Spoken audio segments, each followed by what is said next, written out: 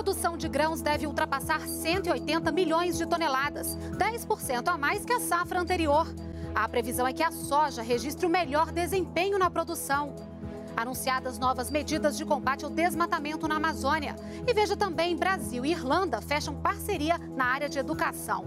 E ainda nesta edição do NBR Notícias. Número de trabalhadores que contribuem com a Previdência aumenta 10% num período de dois anos.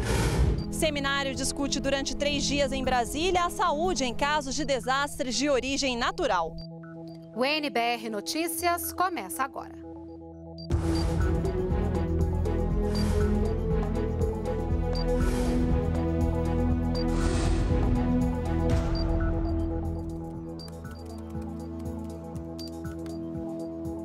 Olá, boa noite. Produção de grãos da safra 2012-2013 deve ultrapassar 180 milhões de toneladas, um novo recorde. As estimativas divulgadas hoje pela Companhia Nacional de Abastecimento, a Conab, indicam também aumento da área plantada.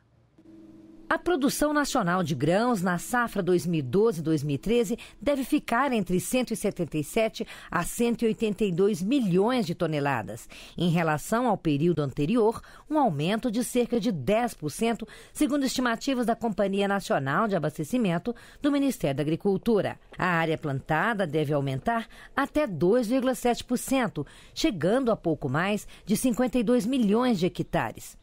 O grande destaque na produção deve ficar para a lavoura de soja. A soja cresceu muito a área plantada, deve crescer muito a área plantada, portanto a produção, tomando inclusive nessa primeira safra a área de milho.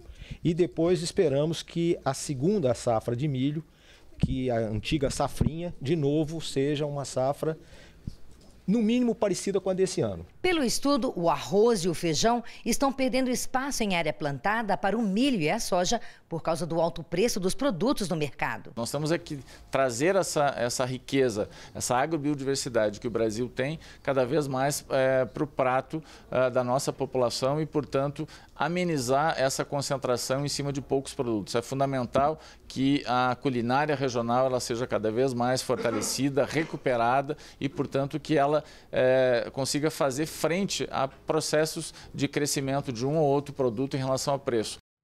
E para o IBGE, a produção nacional de grãos deve atingir este ano mais de 160 milhões de toneladas, um aumento de mais de 2% em relação à safra anterior. A pesquisa também mostrou o aumento da área colhida, que deve chegar a mais de 42 milhões de hectares.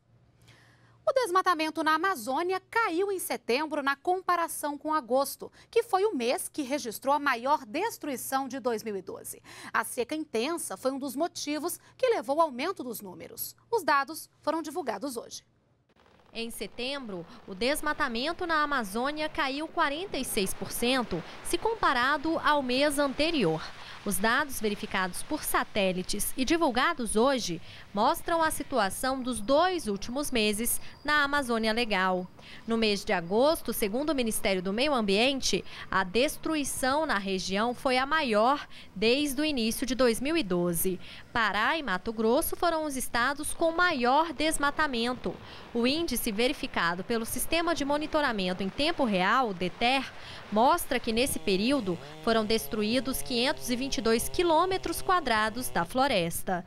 Desse total, 40% foram derrubada de árvores e 60% degradação, como as queimadas. E o Ministério do Meio Ambiente anunciou novas medidas para combater o desmatamento na Amazônia, com ações de fiscalização permanente, mesmo nos períodos de chuva, além de ações integradas de inteligência ambiental com os Ministérios da Justiça e da Defesa. Nós anunciamos aqui também hoje uma nova estratégia de fiscalização na Amazônia, fiscalização ambiental federal. Tá? A fiscalização ambiental federal passa a ser caráter permanente e ostensivo, tá?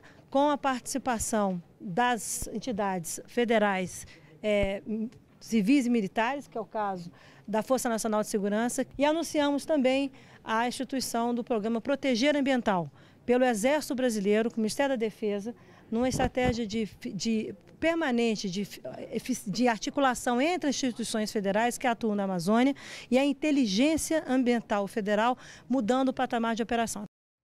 Nos dois últimos meses, os órgãos de fiscalização ambiental aplicaram cerca de 216 milhões de reais em multas e apreenderam mais de 10 mil metros cúbicos de madeira em toras. Nesse período, mais de 30 mil hectares em áreas de desmatamento também foram embargadas. E a segunda fase da campanha de vacinação contra a febre aftosa já começou em Roraima. Rondônia e Amapá são os próximos estados, com a vacinação começando em 15 de outubro. A imunização no restante do país está prevista para novembro. A gente conversa agora com o repórter Paulo La Sálvia, que tem ao vivo mais informações sobre a campanha. Paulo, boa noite.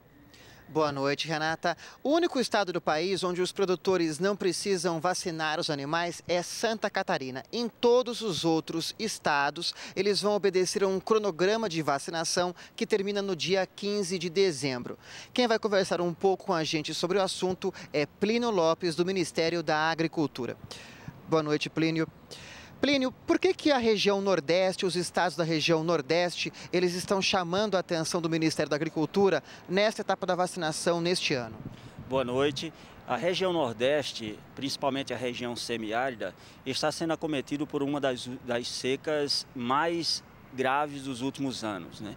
Isso, como dificulta o manejo dos animais na hora da vacinação, nos chama a atenção né, para divulgar com o produtor, insistir com o produtor sobre a importância de vacinar os seus animais contra a febre aftosa no período estabelecido e comunicar o serviço oficial. Além disso, o Ministério da Agricultura, juntamente com os serviços oficiais daquele, daqueles estados, está é, fazendo uma avaliação de circulação viral, um inquérito epidemiológico, com vistas a declarar a região como zona livre de febre aftosa. E precisa manter nessa região índices de vacinação satisfatório para conquistar esse status. Qual que é a precaução que os produtores devem ter na hora de vacinar os seus animais? A primeira atenção que o produtor deve dar é ao produto, ao a vacina que ele vai adquirir, a qual precisa ser adquirida em revendas de produtos veterinários registrados no serviço oficial. Deve atentar para o transporte dessa vacina em gelo, garantindo a qualidade do produto né? e, por fim, é fazer uma aplicação adequada do produto no animal atentando para o manejo é, com o menos estresse possível dos animais, trabalhando nas horas mais frescas do dia e movimentando o mínimo possível esses animais e fazendo a aplicação com equipamentos devidamente higienizados e da dose correta da vacina, que é 5 ml, principalmente é, na tábua do pescoço, que é o local ideal para aplicar a dose de vacina. Muito obrigado pela entrevista. É bom lembrar, Renata, que a meta do Ministério da Agricultura é vacinar cerca de 150 milhões de animais contra a febre aftosa neste ano. Voltamos com você no estúdio. Obrigada pelas informações, Paulo. E a partir de hoje, a fronteira do Brasil com a Bolívia e o Peru vai ser patrulhada por mais de 7 mil militares. A Operação Ágata 6 vai usar aviões de caça, helicópteros e veículos blindados para combater crimes como tráfico de armas e também o contrabando de madeira. O objetivo é levar segurança a áreas remotas do país. A previsão é que a Operação Ágata 6 dure duas semanas evitar doenças e garantir assistência às vítimas de desastres naturais. Um seminário em Brasília busca encontrar soluções e trocar experiências para esses casos. Vila Rabelo, bairro pobre de Sobradinho, localizado a cerca de 20 quilômetros de Brasília. Por trás de toda essa beleza natural, mora também o perigo. Atraídas pelo baixo preço dos terrenos, dezenas de famílias ocupam há duas décadas áreas à beira de precipícios com até 70 metros de altura. É o caso de Rony, que construiu aqui uma casa de quatro quartos e que acha que vive em uma área segura. Com certeza tem outras áreas que estão necessitando sair, entendeu? Com certa urgência que a chuva está chegando. Agora, essa parte de que a gente mora aqui desse, à direita, as casas são todas mais áreas planas e então eu não vejo esse problema de desabamento. No fim da rua, sem asfalto, a vizinha dele, Dona Maria José, também acha que vive em uma área sem riscos. Eu não acho que é área de risco, até porque nunca aconteceu nenhuma tragédia aqui, assim, de deslizamento de terra, algum acidente, assim, grave. Eu não, não, não acho que é de área de risco, não. Já seu Valentim, que mora aqui há 17 anos, pensa diferente. Ele já viu parte do morro em frente à casa dele deslizar. Se tivesse condições, mudaria para outro local. Eu já vi muita coisa aqui, um caminhão já caiu ali, ele está bem ali embaixo ali, certo? E já terá muita coisa aqui que não pode nem dizer, né? Lucineide também sabe do risco que corre morando aqui. Sinto insegura, né? Principalmente no tempo de chuva, a gente se sente inseguro. Esta região de solo arenoso e poucas rochas e ocupado irregularmente é considerada uma das 37 com maior risco de deslizamentos de terras e desabamentos no Distrito Federal. E para trocar experiências ligadas à saúde em casos de desastres naturais, como os deslizamentos, acontece em Brasília um seminário nacional. A ideia é buscar soluções rápidas e eficientes em casos de riscos para evitar epidemias e dar assistência às pessoas atingidas. O conjunto de cuidados é exatamente o que nós estamos procurando é, fazer com que o sistema de saúde esteja melhor preparado para poder atender a essas demandas. Os esforços que estão sendo feitos, não só pelo governo federal, como também pelos governos estaduais, é, vão é, se traduzir em melhor capacidade de resposta para, para essas situações mais críticas. A partir de amanhã, os Correios começam a entregar o comprovante de inscrição dos candidatos ao Exame Nacional do Ensino Médio. O documento traz o número da inscrição, data, hora e local de provas e também a opção de língua estrangeira escolhida. A previsão é que até o dia 25 de outubro, todos os inscritos recebam os cartões. Quem quiser pode imprimir o cartão na página do Enem na internet e as dúvidas podem ser tiradas pelo telefone que aparece na tela. 2 mil estudantes brasileiros poderão frequentar universidades na Irlanda. A parceria foi firmada hoje com a visita oficial do presidente irlandês, que reforçou a cooperação educacional entre os dois países por meio do programa Ciência Sem Fronteiras. A República da Irlanda fica no noroeste da Europa. Faz parte com outros 26 países da União Europeia com população de mais de 4 milhões e 800 mil habitantes, tem uma economia que movimentou no ano passado 184 bilhões de dólares. Valor que o país quer aumentar neste ano para enfrentar a crise econômica internacional. Este é um dos objetivos do presidente irlandês Michael Higgins, que visita pela primeira vez o Brasil com os olhos bem abertos para a sexta economia do mundo. Uma das metas de Higgins é ampliar o comércio entre os dois países. Para isso, o presidente irlandês Michael Higgins veio ao Brasil acompanhado por empresários e o ministro irlandês para o Comércio e o Desenvolvimento. De acordo com o Ministério das Relações Exteriores, o comércio Brasil-Irlanda saltou de 877 milhões de dólares em 2007 para 948 milhões de dólares em 2011. Só entre 2010 e 2011, as trocas entre os dois países apresentaram um crescimento de 27,5%, segundo o Itamaraty. O que o Brasil mais exporta são aviões. Já os medicamentos lideram as compras brasileiras da Irlanda. Mas além do comércio, Brasil e Irlanda devem ampliar a parceria em educação.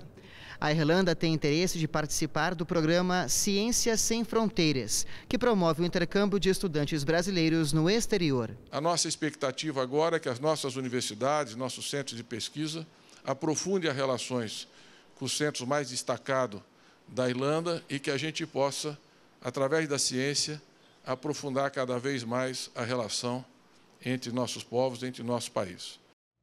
E o financiamento estudantil no mês de agosto atingiu recorde em crédito concedido. De acordo com a Caixa Econômica Federal, cerca de 6 bilhões e meio de reais em crédito foram concedidos para 157 mil estudantes. Esse total representa um crescimento de 107% no número de contratos em relação ao mesmo período do ano passado. A Semana da Criança, o Inmetro e a Receita Federal estão de olho nos brinquedos que podem prejudicar a saúde dos pequenos. A Operação Brinquedo Perigoso, realizado nesta terça-feira, quer mostrar a importância de comprar produtos que sejam importados regularmente e que atendam às normas técnicas. Os brinquedos sem a certificação do Inmetro serão apreendidos. E em homenagem ao Dia da Criança, representantes do governo, do judiciário e de organizações internacionais firmaram hoje um pacto para garantir os direitos das crianças e dos adolescentes. A ação tem apoio do Conselho Nacional de Justiça e do Conselho Nacional do Ministério Público, além do Unicef.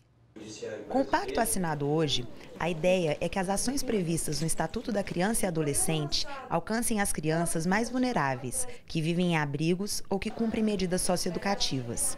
O foco do acordo é garantir a convivência familiar e comunitária, enfrentar a violência sexual e também erradicar o trabalho infantil. O Estatuto da Criança e Adolescente é, é a base desta, dessa missão que nós temos. É uma missão, nós podemos estar atuando agora integrados em todo o Brasil. Ele nos dá as diretrizes. Agora, essa estratégia é a ferramenta concreta. É como todos nós, Poder Executivo, Judiciário, Ministério Público e em todo o Brasil estaremos atuando conjuntamente para fazer valer os direitos humanos das crianças e adolescentes. É uma boa notícia para as crianças brasileiras. No próximo ano, quase um milhão de empresas vão ter a alíquota do seguro acidente de trabalho reduzida em até 50%. A repórter Priscila Machado está no Ministério da Previdência e de lá traz ao vivo os detalhes. Priscila, boa noite. Boa noite, Renata. Essas empresas só vão ser beneficiadas porque apresentaram bons índices no que se refere a acidentes e doenças do trabalho. Quem tem as informações explica melhor para a gente é o Luiz Eduardo de Mello, coordenador geral de políticas de saúde e segurança ocupacional. Como é que é verificado quais empresas que podem ter essa redução do seguro?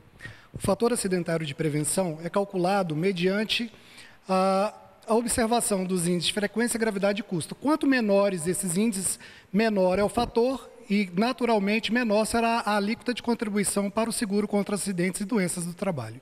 Esses índices de acidente de trabalho e doenças ainda são altos no Brasil. Por que é importante um incentivo como esse para as empresas? Bom, se observarmos nos dados que temos dos empregados, trabalhadores avulsos e segurados especiais, em 2010 eram 46 trabalhadores que não retornaram ao trabalho por morte ou invalidez. Estes indicativos, acidentes graves e fatais, são muito importantes e nos conduzem cada vez mais a buscar políticas que visem a promoção da saúde e segurança nos ambientes do trabalho. Ganha a empresa e ganha o trabalhador também. Com certeza, porque à medida em que a empresa investe em segurança e saúde no trabalho, vê o seu fator acidentário de prevenção reduzido e, naturalmente, contribui menos para esse seguro, tem menor despesa e, consequentemente, investindo em segurança, isso é traduzido no âmbito coletivo e individual para os trabalhadores. Muito obrigada pelas informações. Lembrando que no próximo ano, quase um milhão de empresas vão ter redução na alíquota do seguro acidente de trabalho. Renata. Obrigada pelas informações, Priscila. E o mercado de trabalho aquecido e a formalização de empresas têm levado cada vez mais trabalhadores a aderirem à Previdência Social. O número aumentou mais de 10% entre 2009 e 2011. O trabalho como cabeleireira já dura quatro anos, mas antes o salão era na garagem de casa. Agora Francisca é empreendedora individual. Tem CNPJ, que é o registro formal de uma empresa, e contribui para a Previdência Social. Com a formalização, o salão começou a receber mais clientes e passou a funcionar em um espaço maior. E a proprietária tem agora benefícios como os de um trabalhador com carteira assinada. Além de eu estar formalizada, estou garantindo minha aposentadoria, né? Que daqui a 13 anos, com certeza, posso estar aposentada. E vamos supor que eu venha ter um filho, vou ter o salário materno, a pesquisa nacional por amostra de domicílio mostra que entre 2009 e 2011, o número de trabalhadores que, como Francisca, deixaram a informalidade e passaram a contribuir para a Previdência passou de mais ou menos 49 milhões e meio para 54 milhões e 700 mil, 5 milhões a mais. O número de mulheres ocupadas no mercado formal aumentou quase 12%, passou de menos de 21 milhões para mais de 23 milhões. O número de homens que contribuíram para a Previdência aumentou mais de 9%. Eles eram 28 milhões e 800 mil em 2009 e 31 milhões e meio dois anos depois. O governo considera que o aumento no número de trabalhadores que contribuem com a Previdência é resultado do mercado de trabalho aquecido e de medidas de inclusão previdenciária, como o empreendedor individual, que facilita a formalização de empresas. Para o ano que vem, a expectativa é de ainda mais crescimento, porque começam a entrar no cálculo as donas de casa de baixa renda, que desde o fim do ano passado também podem contribuir com a Previdência.